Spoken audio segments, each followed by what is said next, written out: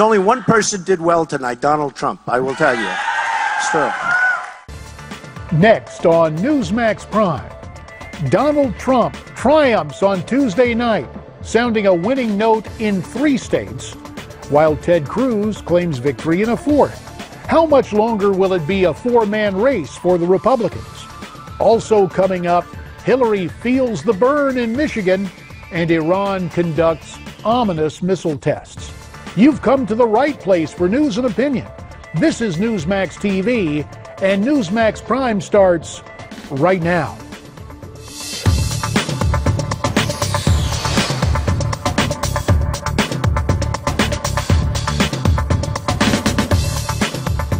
Good evening and welcome to the Wednesday edition of Newsmax Prime. I'm JD Hayworth. Of prime interest tonight, three, one, none. That's the breakdown following last night's Republican contests in four very different states. Donald Trump pulled off three wins, Ted Cruz a single triumph, but no victories for Marco Rubio or John Kasich. Miranda Kahn recaps the results. JD, Mr. Trump triumphed in Michigan, Mississippi, and Hawaii, while Senator Cruz claimed a win in Idaho. That means Trump added another 71 delegates to his total.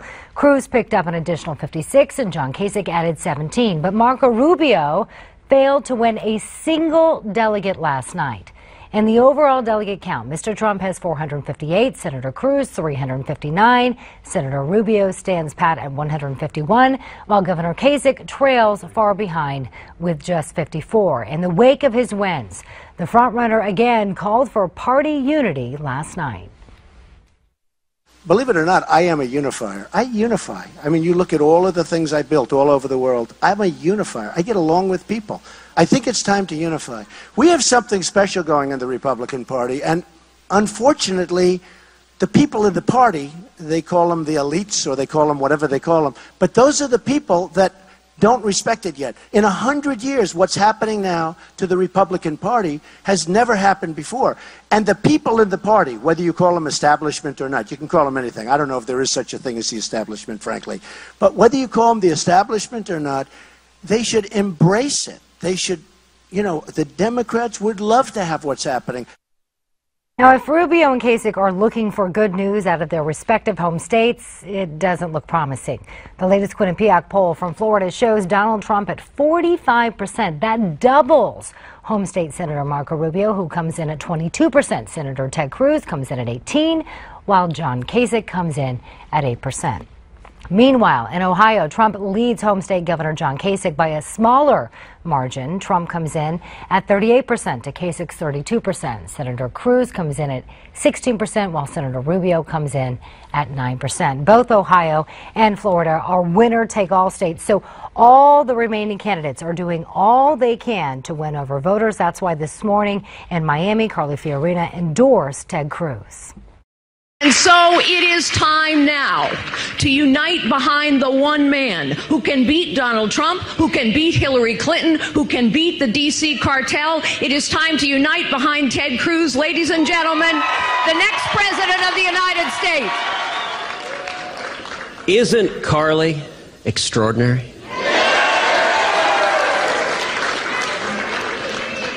We just heard a whole bunch of Democratic activists and Hillary supporters going, Holy cow, what was that? You can expect more endorsements and announcements in the remaining days as we head into next Tuesday, which should be a big one. JD, back to you.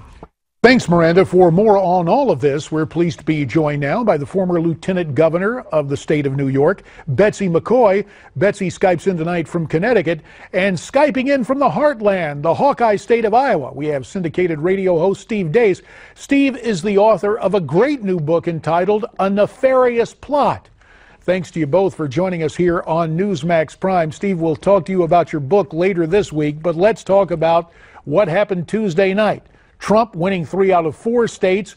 Wasn't close in Michigan or Mississippi. Trump has won 15 of 24 overall, as opposed to Ted Cruz and his seven victories. Steve, does your candidate, Ted Cruz, need to start winning more states in order to be a viable alternative to Donald Trump? Well, JD, I think he's proven he's the only alternative to Donald Trump. And when you look at the delegate math, it's not really any different from last night than it was going into last night. Uh, we're still on a very difficult path for anybody to get to 1237. If you took a look at the total popular vote last night, I think it went 37 Trump, 35 Cruz when he went across the board.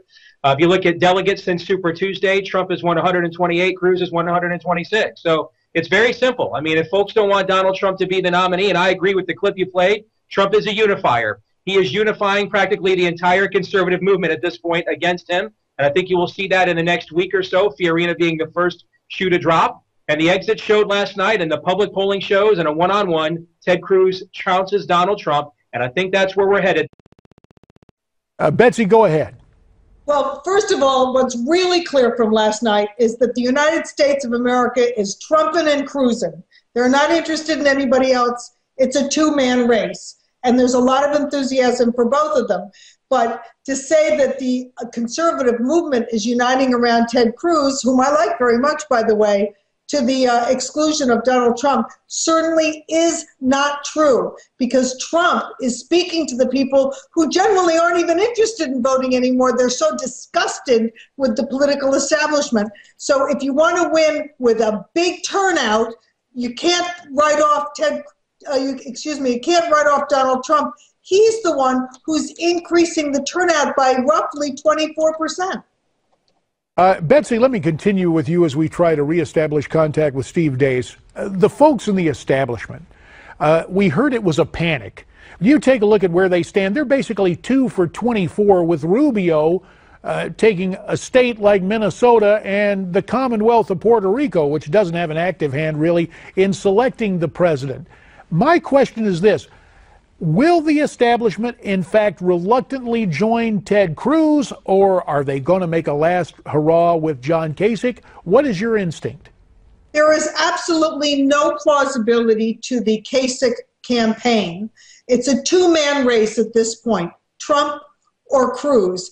And the fact is, Trump has demonstrated something that no other candidate in recent history put up by the Republican Party is able to do, and that is to really ignite the non voter, the infrequent voter, the Democrat, the independent. He has put together the dream coalition that the GOP has hoped for for a decade or more.